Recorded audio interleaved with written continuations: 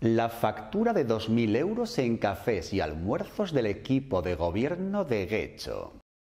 Almuercito para el pecho y que lo paguen los de Guecho. No es magia, son tus impuestos. 2.000 euritos. Eso es poco, eso es poco. Es lo que nos cuesta que unos cuantos políticos de... se junten para definir el plan de legislatura. Estos procesos de reflexión estratégica necesitan sesiones de trabajo intensivas que precisan de una pausa para café algunos días y almuerzos otros. Nice. El ayuntamiento, que los tiene así de gordos, justifica este gasto por motivos de eficiencia y para maximizar el aprovechamiento del tiempo. Curiosamente, al mismo tiempo que también maximizan el gasto de tu dinero. Para que lo entendáis de forma mucho, mucho más sencilla.